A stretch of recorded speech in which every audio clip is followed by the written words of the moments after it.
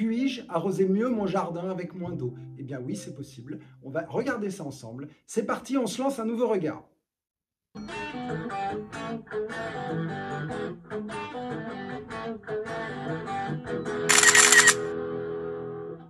Vous avez deux types d'arrosage. Vous avez deux façons d'arroser. Alors, type d'arrosage, vous avez l'arrosage aérien et l'arrosage souterrain. Et dans les façons d'arroser, vous avez la mouillette et l'arrosage en profondeur. Alors, je vous propose qu'on étudie ça un peu plus en détail. Alors, l'arrosage aérien, bah, c'est quand il pleut, par exemple, euh, ou quand vous arrosez votre jardin avec votre tuyau d'eau. Ça, c'est l'arrosage aérien. Ou alors les arrosages automatiques qui se déclenchent euh, à minuit ou à 9h du matin et ça arrose le jardin. C'est magique. Vous avez, dans la façon d'arroser, vous avez la mouillette. Alors vous prenez, vous arrosez votre jardin le dimanche avec votre tuyau d'eau, puis 30 secondes sur cette plante, 20 secondes sur ça. Ça, c'est de la mouillette. Ça arrose rien du tout. C'est la rigolade. Et alors sinon, vous avez l'arrosage en profondeur.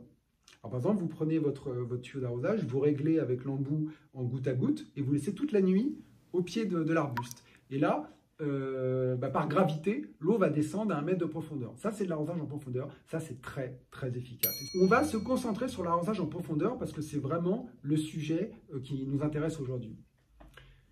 Quand vous allez concevoir votre jardin, au moment de la conception, au moment du plan du jardin, à ce moment-là, vous allez prévoir les tranchées d'arrosage automatique de surface, mais vous allez en plus de ça prévoir des tranchées en plus pour venir arroser les arbres, les arbustes et les massifs en profondeur. Profondeur, c'est 50 cm, 70 cm. Vous allez mettre dans les tranchées un drain agricole. Alors, un drain agricole, c'est ça, c'est cette partie jaune. Alors là, il est en 100 mm, mais ça existe en 80 mm. Ça, me paraît plus approprié pour, euh, pour les jardins. Enfin, pour faire ça. Euh, ça, c'est formidable parce que l'eau sort, c'est perforé. Donc, l'eau sort et l'eau rentre. L'inconvénient, c'est que du coup, la terre rentre dans le drain agricole. Donc, je propose qu'on recouvre le drain agricole avec du feutre géotextile, avec du scotch pour pas que ça parte. Alors, je vous, montre ce que c'est que du feutre géotextile, pour ceux qui ne connaissent pas. C'est ça. Voilà. En faisant ça, le drain agricole va rester intact et il ne se remplira pas de terre. Vous allez faire tout un réseau dans votre jardin avec ce drain, ces drains agricoles recouverts de feutre. Dans ce drain agricole, vous allez insérer un tuyau en goutte à goutte. Je propose qu'on en mette deux parce que si jamais un était défectueux, vous serez bien content d'avoir un plan B. Vous mettez des tuyaux en goutte à goutte, et à l'intérieur du drain, le tuyau va disperser ces petites gouttes et ça va s'épandre dans la terre. Sauf que vous êtes déjà à 50 cm de profondeur.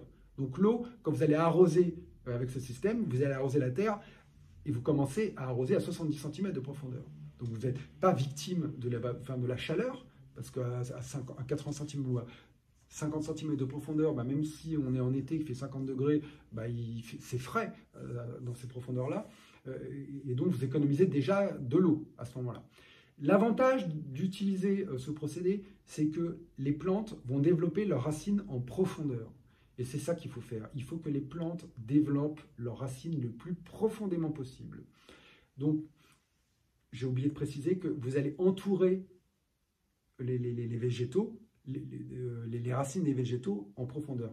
On va prendre l'exemple. Vous, faites livrer, par exemple, un, magnolia grandiflora, il arrive avec un camion gros, parce que c'est un gros sujet.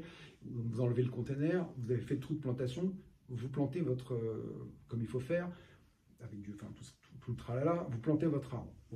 Après, vous allez creuser des tranchées autour, mais à 1 mètre, à 1 mètre 50, vraiment loin, loin, loin, loin. C'est-à-dire que le, magnolia grandiflora, il va se développer comme ça, et les racines, pareil, proportionnellement, vont se développer comme ça. Donc du coup, il faut, aller installer votre drain agricole à l'endroit où vont se développer au maximum les racines. Il faut attirer les racines le plus loin possible et en largeur et en profondeur. Donc vous voyez, c'est quand même un travail important à, mettre pour le mettre en place. Voilà. Mais quand vous avez fait ça, vous allez pouvoir vous attaquer à la partie la plus intéressante, enfin la programmation du programmateur. Il va falloir au début arroser en surface. Parce que si vous arrosez pas en surface, les plantes vont mourir. D'ailleurs, je vous invite à faire des cuvettes au moment des plantations, d'arroser avec le tuyau manuellement. Euh, rien ne remplacera l'arrosage manuel. Le but, c'est d'arroser énormément, mais le moins souvent possible. Il ne faut pas arroser trois fois par semaine. Ça, c'est pas du tout ce que je préconise. Je pense qu'il faut arroser le, moins le plus longtemps possible, le moins souvent possible. Le but du jeu, c'est de faire descendre les racines. Au bout d'un moment, quand les racines commencent à descendre, parce que Vous savez, les, végétaux sont tous interconnectés entre eux. Hein. Ils communiquent par leur, euh, réseau de mycorhizes, les, brins de mycélium, ils font des échanges de sels minéraux. Ils se disent, tiens, l'eau, elle est là-bas, viens, on va aller voir. Enfin, je rigole un peu, mais je pense que ça se passe un peu comme ça. Et donc l'eau, elle est là-bas, on va aller chercher l'eau là-bas. Donc ils savent très bien les végétaux où est l'eau. Mais à condition qu'on ne leur donne pas de la bibine euh, trois fois par semaine euh, avec le système des programmations habituelles. Non, non, il faut, il faut casser les récurrences, il faut que ça devienne presque aléatoire, et il faut mettre de l'eau en bas. Progressivement, vous allez pouvoir baisser la proportion d'arrosage en surface, sauf pour les parties gazon euh, et, plantes couvre-sol, parce que là, le système de, les, racines du gazon ne vont pas descendre assez profond. Ce dont je parle, c'est vraiment les arbustes, arbres et massifs euh, de plantes euh, dont les racines descendent à au moins 50 cm de profondeur.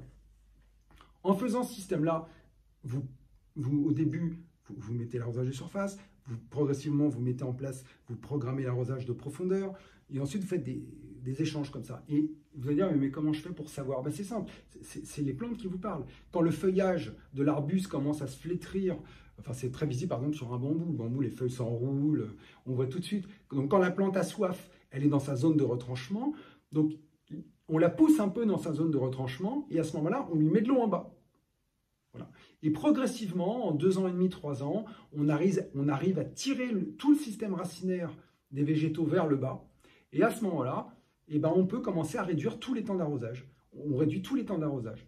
Et, les plantes sont beaucoup plus enracinées, beaucoup plus robustes, beaucoup moins malades et surtout plus belles parce que les racines sont plus profondes. Voilà. Euh, alors ça prend du temps, euh, au début c'est compliqué, mais je pense que ça vaut le coup. Je pense que là on, arrive à un moment où l'eau euh, est une denrée rarissime. on va bientôt, enfin j'espère pas, mais on va avoir des problèmes d'eau. Il faut absolument, quand on peut le faire, que chacun fasse à sa, dimension des petits efforts. Voilà, ça c'est peut-être quelque chose que chacun peut faire. Au moment de la conception de son jardin, on peut peut-être penser à ce genre de choses. Si cette vidéo vous a plu, mettez-moi un cœur, suivez-moi sur YouTube et je vous dis à bientôt.